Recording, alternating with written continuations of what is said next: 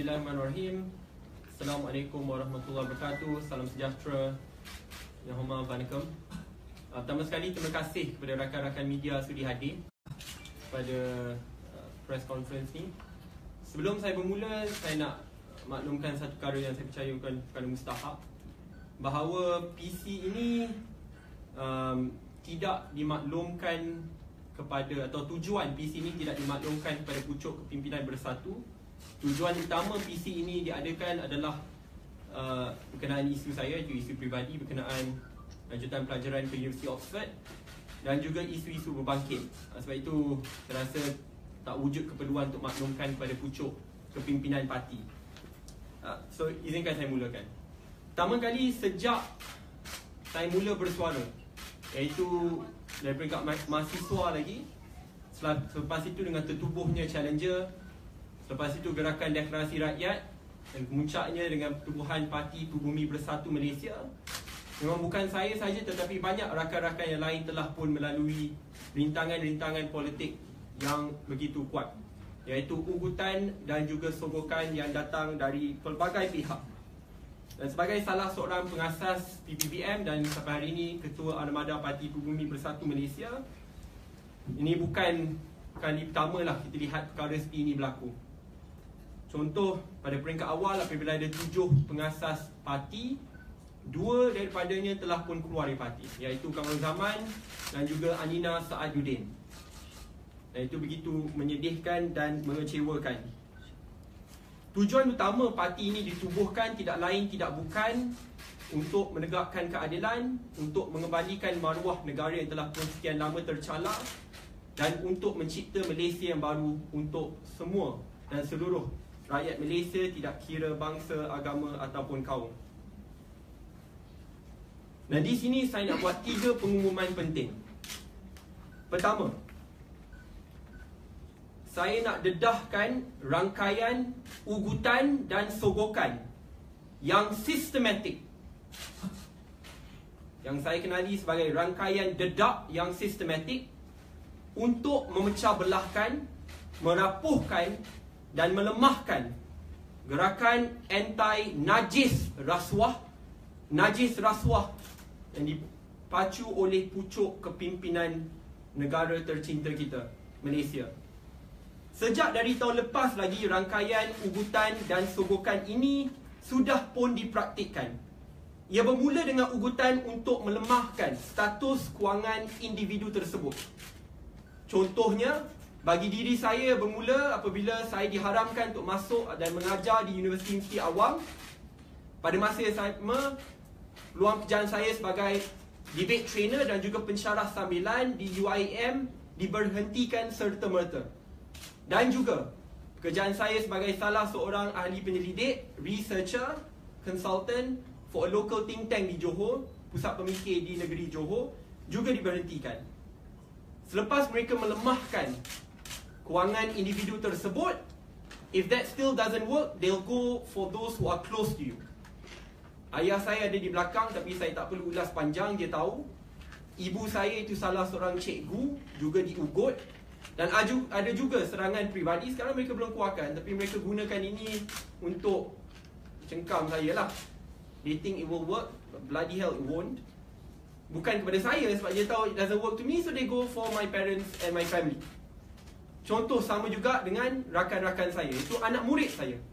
Di UIAM bila saya tidak boleh diugut Anak murid saya yang sebelum ni saya ajar Yang sepatutnya mewakili Malaysia ke pentas debat dunia Tu di Amerika Syarikat dah beli tiket, flight tiket tu guna duit kerajaan eh Flight tiket lah Dah beli Tapi sebab saya mereka diharamkan untuk pergi. Another way to get to me and to get to those who are close to me Ni kalau salah boleh saman saya Boleh tanya anak murid saya sendiri Di UIAM Ini tahun lepas lah saya nak tunjuk kronologi ya Yang termasuk ibu bapa saya. Saya difahamkan juga bahawa rangkaian dedak sistematik ini Dikawal oleh mereka di pejabat Perdana Menteri. Perancangannya dibuat oleh salah seorang individu yang saya fahamkan nama dia Habibur Rahman penasihat kanan Datuk Seri Najib yang juga berpengaruh di media prima, utusan dan lain-lain. Saya dimaklumkan ini pada bulan Disember tahun lepas. Ini you can record my word straight eh. Kalau salah boleh sama lagi. Saya tak takut lah ni. Pada bulan Disember tahun lepas, gerakan ni dah sangat aktif lah. Sebelum ni dia ugut, ugut, ugut, ugut. Akhirnya tibalah sogokan-sogokan yang nak diketengahkan selepas ugutan tidak not functional. Sejak bulan 12 tahun lepas, ada beberapa pengasas parti Prubumi yang dah goyang. Contohnya Kamarul Zaman. Saya ada bukti. Pada bulan 12, apabila saya tengah saya dilantik sebagai Chief Educator atau Ketua Hakim debat peringkat dunia di Netherlands, dia hubungi saya. Kak Sadiq, this party cannot continue, it's time for us to act. Kita kena buat sesuatu. Dan pada masa tersebut pun dia dah signal bahawa besar kemungkinan dia akan keluar parti, dia nak yang lain ikut sekali. So saya difahamkan selepas itu bukan dia sahaja tetapi ada pucuk kepimpinan yang lain juga ditawarkan sogokan yang begitu tinggi. Pada masa tersebut, saya mengambil pendirian untuk tidak mendedahkan perkara ini sebab saya nak tahu from A to Z exactly what's going on, who's the culprit behind it, what do they want and what will they achieve. So pada masa tersebut akhirnya saya difahamkan ia bukan sahaja melibatkan kamu zaman, ia melibatkan banyak pucuk kepimpinan yang lain. Contohnya Aninas Adudin, Datuk Hamidah, Exco Exco Armada, Exco Seri Kandi dan ada lagi segelintir. Pada masa depan dia nak cuba dapat juga berapa ahli armada, rakan pimpinan saya dan juga ahli majlis pimpinan tertinggi parti. Tapi I know who these people are and saya akan memang kongsikan semua maklumat ni dengan pucuk pimpinan parti dan kongsikan bukti-bukti yang sedia ada kepada pucuk pimpinan parti selepas ini. I think this is simply intolerable and disgusting. Saya tak boleh pastikan 100% bahawa individu contoh Datuk Amidah keluar sebab benda, benda itu tapi saya tawaran tersebut telah pun dibuat dan ada buktinya. I think that's very clear. PC hari ini Ni lepas ni saya rasa confirm ada banyak serangan peribadi ke atas saya dan ahli keluarga saya. Tapi tak apa. PC hari ini juga bukan dirancang oleh saya. PC ni dirancang oleh puak yang sama ni. The very systemic root of corruption which is destroying our beloved nation. Iaitu rangkaian ugutan dan sogokan ataupun rangkaian dedak yang begitu sistematik ini. Saya dijanjikan jika saya buat PC pada hari ini Saya tak tahu mungkin wakil dia ada bilik Dia cakap ada dua orang. Kalau tak nanti I will be punished lah tapi tak apa. I will get 5 million ringgit Malaysia 5 juta ringgit Malaysia Dan juga grant-grant untuk menubuhkan Pusat-pusat debat Or debate schools in each and every single state. Dan selepas itu saya perlu meninggalkan Malaysia Dan keluarkan kenyataan untuk menyerang Tun Dr. Mahdi Muhammad Tan Sri Muhyiddin Yassin dan Datuk Sri, Datuk Sri Mukris Mahdi The narrative is very simple. Dia nak keluarkan semua pengasas-pengasas parti yang bukan Tun Tan Sri Datuk Sri untuk menunjukkan bahawa gerakan politik bersatu adalah gerakan politik yang hanya ingin mengagungkan perjuangan peribadi Tun Dr. Mahdi Muhammad yang bersangkut paut dengan Datuk Sri Mukris dan Tan Sri Muhyiddin Yassin. Sebab itu they aim people like me, Kamaru Zaman, Aninas Adudin, saya dimaklumkan Akram, Datuk Hamidah dan banyak yang lain. They are aiming for these people to ensure that what is a people's movement is labelled and seen as a private, personal, agenda-based movement. Kepada mereka yang nak ugut dan sogok saya, kalau ada wakil di sini, tell those bloody fools that I will not bow down. Maruah saya tidak akan dan tidak boleh dijual beli. Kamu nak ugut saya, ugutlah. Kamu nak ugut ibu bapa saya, ugutlah. Nak keluarkan masalah pribadi mereka, abang saya, keluarlah. But rest assured that I have every single thread of evidence at my disposal. Korang pun tahu apa perbincangan dan dialog yang ada even on paper kalau mana-mana serangan pribadi dilontarkan kepada ahli keluarga saya yang tak buatkan kesalahan undang-undang it is a private personal issue rest assured saya akan dedahkan setiap satu daripadanya siapa di belakangnya menteri mana setiap satu menteri yang saya jumpa and what are the implications. Tetapi kalau kamu harap PC ini adalah tujuan untuk menjual maruah diri saya, kebelakangkan kepentingan negara, you are wrong. Maruah saya tidak boleh dijual beli.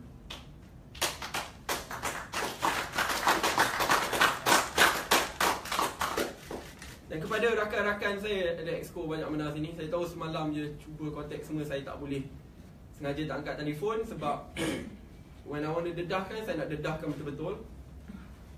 But I hope that you will stand with me when they, you know, throw all these personal attacks lah. Yang kedua,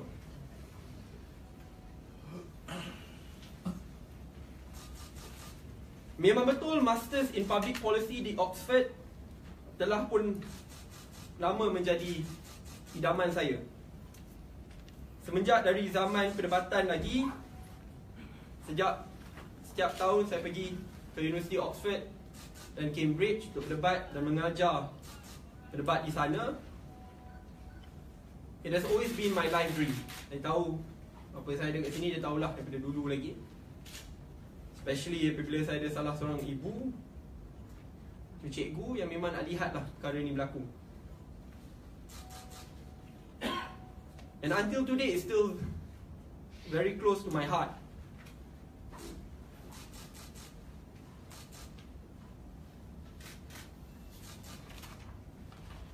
Walaupun ada yang ingat keputusan hari ini juga adalah keputusan untuk saya meninggalkan Malaysia. Sebab pada minggu kedua my classes would have started ke Oxford. Masters in Public Policy which is my life passion pun sebelum ni pun saya bekerja berkenaan dengan bidang tersebut. Selepas saya duduk bincang dengan ibu bapa saya, kawan-kawan saya It's a long consideration Pertama sekali saya nak rayu Pada di keluarga saya Kawan-kawan saya Untuk Bersama saya Dalam keputusan ini It's not an easy decision But it is a decision which has to be made regardless. Saya bakal kehilangan biasiswa yang berjumlah RM400,000 Malaysia. Biasiswa ini tidak datang dari kerajaan Malaysia atau mana-mana agensi kerajaan. Kalau nak tengok I want to earn that money Jangan harap lah RM400,000 uh, It's a once in a lifetime opportunity Tapi saya dimaklumkan oleh University Oxford Pertama Mereka benarkan saya untuk tangguhkan pelajaran saya Tetapi dengan syarat Di mana saya akan hilang Biasiswa daripada University Oxford Dan apabila saya Tangguhkan tempoh pembelajaran tersebut Saya tidak akan lagi layak To apply for any Oxford scholarships or Oxford related scholarships yang saya dapat sebelum ini.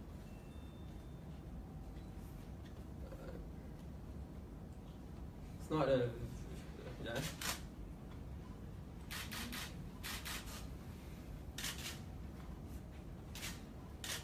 Tak ya. Saya dah ambil ketetapan put Oxford behind and to prioritize untuk to fokus dalam perjuangan ini. Baik.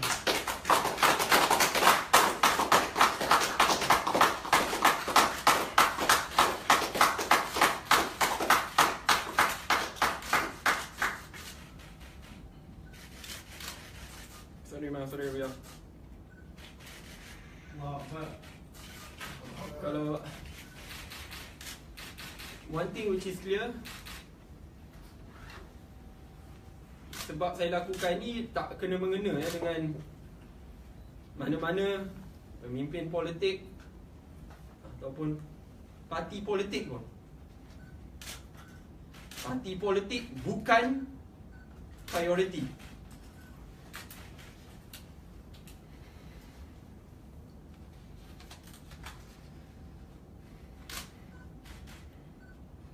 Tapi saya tahu Kalau saya pergi ke Oxford tahun ni My heart will not be there. Nak fokus belajar pun tak boleh. My heart My, my heart will always be at Malaysia. Saya tahu ada yang kata Tadi tak penting, tak apa Malaysia akan ada. Pergi je belajar. But if you know what I know When I was in the government Kalau kamu tahu apa yang saya tahu Najis rasuah itu merupakan musuh Utama negara Kaitan dengan semua masalah-masalah negara. Daripada kos hari hidup, daripada GST, lambakan kerja asing, hilangnya kedaulatan negara Semua bersangkut paut. Mungkin kata satu tahun pergi, habis, datang balik. Tetapi saya percaya keputusan yang, yang akan kita buat In this one year Akan menentukan masa depan negara 10, 20, 30 tahun Yang akan datang. And kalau nak cakap tadi pergi dulu tak apa Come back and then you can contribute Boleh sumbang kepada negara. Tak apa, focus on yourself, be selfish. But I believe in one thing. And I've always believed in this That our fate is intertwined with one another We have a shared destiny We have a shared cause, we have a shared history Apabila ada satu rakyat Malaysia yang berjaya yang akan membawa gelombang di mana seluruh rakyat Malaysia akan berjaya. Tetapi apabila ada rakyat Malaysia yang hidup sengsara, rakyat Malaysia lain juga akan terima akibatnya. Musibahnya. Tak guna kalau saya seorang kaya dapat duit, sogokan, pergi ke Oxford, come back. Tak guna kalau saya seorang kaya tapi My beloved Malaysians of the very country Should always be my priority. Rakyat Malaysia hidup sengsara. Kalau ikut pasal parti, minta maaf lah. I know a lot party members here, I don't care lah Buat top leadership is not because of top leadership Banyak kali saya tak setuju, saya cakap in open and in private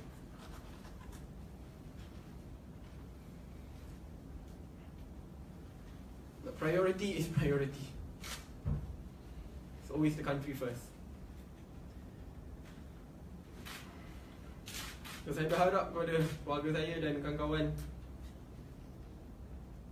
Tolonglah faham kenapa saya buat keputusan ni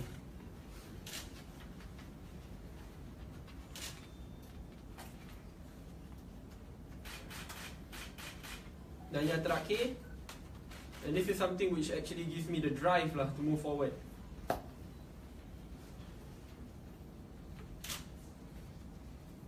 iaitu berkenaan budaya politik baru or something which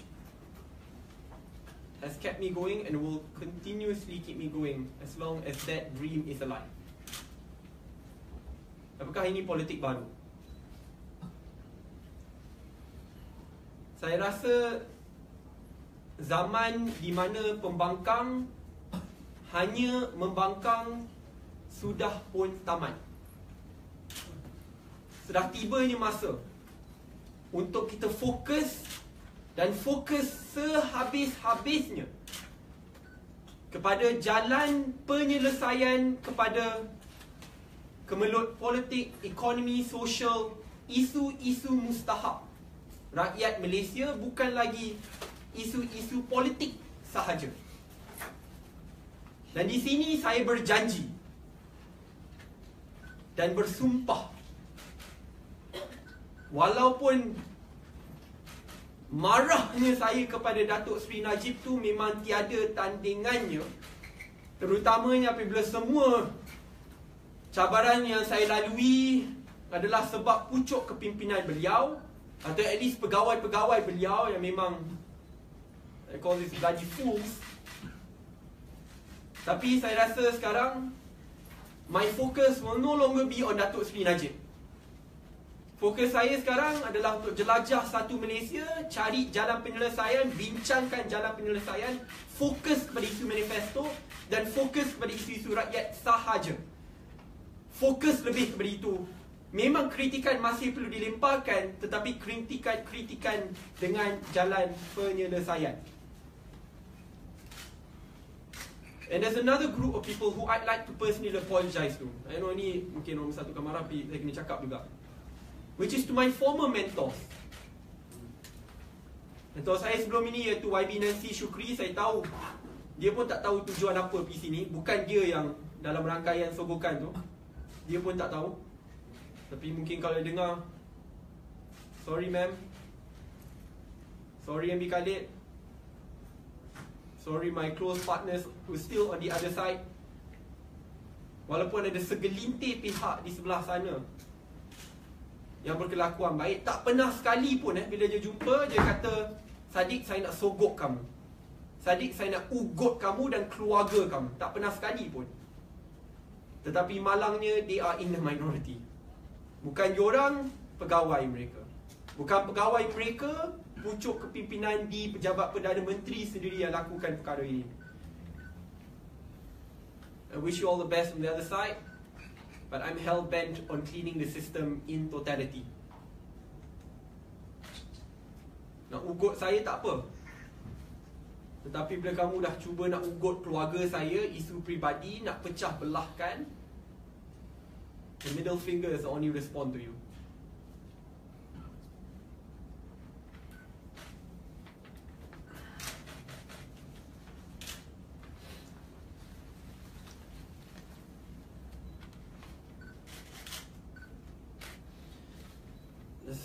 rumuskan lah. Saya mungkin akan gagal. Perjuangan ni. It's never easy kan Orang kata Can buy a lot of people off Pada masa yang sama Dia akan guna Apa-apa taktik lah Daripada serangan peribadi Dengan Bagai jenis Cara yang kotor lagi Memang Ada kemungkinan Mungkin kemungkinan besar kita akan gagal. Rakyat Malaysia keseluruhannya akan gagal. Tetapi kalau kita tak cuba pun, tak ambil inisiatif melalui saluran yang tersendiri untuk berjuang, untuk menentang sistem yang tidak adil, sistem yang menyeksa dan memperkosa rakyat Malaysia secara keseluruhannya, I think we have already decided from the start that we will fail.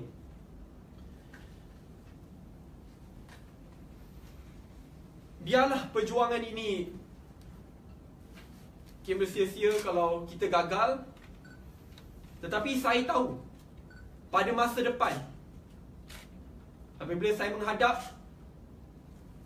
Anak-anak saya Cucu-cucu saya InsyaAllah Saya boleh cakap kepada mereka bahawa saya dah cuba. Walaupun saya gagal Saya dah cuba. Kalau ni dibandingkan dengan perjuangan banyak pemimpin-pemimpin lama kita daripada zaman pra-merdeka ke zaman kemerdekaan yang membawa kita tahap kegemilangan kita sebelum ini nowhere close to them. The least I can do is to fight in what, whatever way I can. Saya lebih rela bergadai harta daripada hidup dengan hati yang buta. Our fates are intertwined with one another. We have a shared cause, shared destiny. And if we as a nation succeed, I believe that that's the best success anyone can get. And that will forever be my ultimate dream. Terima kasih. Saya kalau ada soalan sikit depan ni minta maaf kan saya pergi kan dia. Main pada ni. Uh, saudara, adakah rangkaian dedak yang sistematik yang saudara dah nyatakan uh, yang pertama itu sudah diketahui oleh kepimpinan uh, uh, uh, uh, satu? Tak. So, ini bila akan? Di, di, di, di, saya akan maklumkan kepada pucuk kepimpinan cepat mungkin tapi itu akan dimaklumkan kepada mereka lah Untuk tindakan susulan Masuk bukti. Saya, uh, maksudnya PC yang diadakan hari ni bukan dirancang oleh saya lah. Tapi yang uh, Ada sebab utama kenapa mereka suruh buat kat sini. I'm not, Saya tak ada duit lah nak buat kat sini eh. Dia cakap buat je dulu Jangan risau We'll give you the money after Fly to Oxford We'll give you the next batch. Dia pandai tau Sama macam bila dua exco saya sebelum ni yang terlibat Yotomi yang peringkat awal dia, janji, Ni sebelum ni bukan saya. Dia janjikan RM50,000 Dia kasih one by one. Setiap PC buat dapat duit. Setiap PC buat dapat duit. Dia takkan kasih one go kan? Sama ni, buat satu, kena buat kat sini. Kalau buat kat pejabat, takut nanti Contoh Tan Sri tu, Datuk Sri datang Ubah fikiran saya. So they kept me in the dark. Sebab tu kawan saya semua cari datang rumah memang tak ada. They kept me in the dark Supaya tak ada orang boleh jumpa saya To buat dekat sini Supaya I cannot Go back But if they think I'm stupid Nak boleh dibeli Then they don't know who I am lah. Saya minta maaf kalau saya tanya soalan tadi Apakah sokongan paling besar yang pernah awak? Terima daripada pihak tersebut? Saya kongsikan satu persatu kan okay, Ada satu yang memang saya tak boleh cakap Sebab ini berkaitan dengan Very sensitive people Tapi tak apa? Um, Ia start pada peringkat awal Bila mereka janjikan biasiswa Untuk melanjutkan pelajaran ke University Oxford Sebab mereka tahu saya dapat masuk Tapi pada peringkat tersebut Saya tak ada biasiswa lagi Dia tahu biasiswa untuk masuk Kena sekurang-kurangnya RM300,000 ke RM400,000 ringgit. Tak tahu berapa mahal Tak kenapa Oxford mahal sangat eh? Ya. Tapi Alhamdulillah bila saya terima biasiswa tu Diorang macam panik lah Tak tahu nak buat apa Lepas tu mereka janjikan Duit Bila mereka janjikan duit They know how pissed off I am. Saya tahu YBNC tahu benda ni. Bukan dia Bukan YBNC yang offer. Sebab dia gila. Ingat hari ni apa Kasih duit boleh Itu yang bodoh lah. Tu mereka pandai So dia cakap Oh duit tak boleh. So dia janjikan cara lain. Tak apa Sadiq, you kan suka sangat debat, suka mengajar. Ajar is in your blood, cikgu apa Ibu cikgu, makcik cikgu, semua cikgu. Pensyarah. Apa kata kita kasih duit Tu modal pada masa yang sama grant untuk Buka sekolah-sekolah debat di seluruh Malaysia. Dia cakap 5 juta ringgit That is cash up front sebagai modal. Dan juga grant contoh saya apply sebelum ni Kalau nak buka sekolah debat tu Satu di satu negeri RM750,000 Di negeri lain ada 1 juta. Saya dah allow Tapi itu dengan prasyarat yang sangat banyak lah. Bukan saya bukan saja saya kena pergi Oxford Saya kena keluarkan banyak kenyataan-kenyataan susulan. Saya kena dedahkan semua Secret party Apa yang sebelum ni parti buat Pada masa yang sama saya kena tipu jugalah. Cakap oh ni memang betul Tun pernah beritahu yang dia nak naikkan Datuk Seri Mukri sebagai Perdana Menteri Malaysia. Padahal tak pernah sekali pun. To be honest, I kesiankan Datuk Seri Mukri. If you know eh Apa Datuk Seri Mukri lalui Dari peringkat awal Mungkin parti marah tapi tak apalah. Saya nak kongsikan sedikit Tak ada parti tengok marah tak apa. Pada peringkat awal bila ada tujuh pengasas tu Dia tak nak ada Datuk Seri Mukris tau Padahal paling layak eh, Nak tengok siapa yang layak. Jelas lah. I mean merit wise Bila dah masuk kan Kita tengah structure parti Dia tak nak Datuk Tun Dr. Mahathir. Haramkan Datuk Seri Mukris Pegang jawatan yang besar dalam parti. Timbalan Presiden Tak boleh Vice President Tak boleh. Sampai in the end Kan ada tujuh orang Semua dapat jawatan awal Datuk Seri Mukris might be lower than me. Iaitu just salah seorang pengasas AJK Itu je. Paling tinggi Bendahari parti. Bendahari parti yang tak ada duit lah Lowest. Kita fikir siapa yang nak jadi timbalan presiden Sebab tu kalau rakan-rakan media tengok Pada peringkat awal Berapa bulan kita tak ada timbalan presiden Zero, tak ada. Bukan sebab kita kena tunggu orang lain. Sebab saya, Tan Sri lain semua cakap Memang kena Datuk Seri Mukris. Merit wise is the best. Dia pun paling aktif. Sokongan rakyat pun teramat tinggi. Yang akhirnya kita kena undi vote against Tun M Pastikan benda ni berlaku so. Tapi just tactic is very simple lah. I mean Show ini perjuangan peribadi Hanya untuk naikkan Datuk Seri Mukris. Saya kena cakap benda tu banyak kali. Challenge Datuk Seri Mukris untuk berdebat Challenge pimpinan parti untuk berdebat berkenaan isu ni secara terbuka. Kalau mereka tak buat secara terbuka Saya tetap akan buat program Nothing to Hide Ajak Tun Dr. Mahathir untuk turun. Yang terakhir, finally then Tulis as much as possible About this issue. Yang memang This is the case And saya dimaklumkan nanti ada orang lain lagi akan join. Lepas tu korang akan group together. Yang berapa individu yang kecewa dia tinggalkan parti Group together. Dia cakap tengok kita semua tinggalkan Yang ada hanya Tun Tan Sri Datuk Sri je. Figura politik paling besar. Jelas ini bukan untuk rakyat. Orang yang bukan politik sangat Yang masuk parti semua dah keluar. Sadiq dah keluar Sini Sadiq tak pernah masuk UMNO dah keluar Nina masuk UMNO sejak Dah keluar semua dah keluar. Apa buat ni memang Disgusting lah Bukannya tak tahu benda ni salah.